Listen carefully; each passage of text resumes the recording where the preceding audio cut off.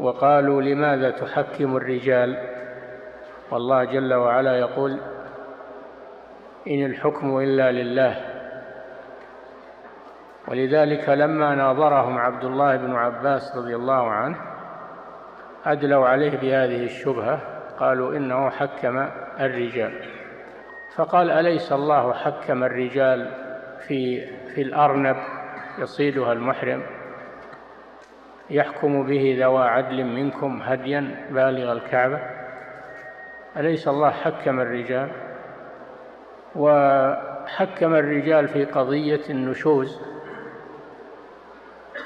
حكم الرجال وإن امرأة وإن امرأة خافت من بعلها نشوزا أو إعراضا في قوله تعالى فابعثوا حكما من أهله وحكما من أهلها.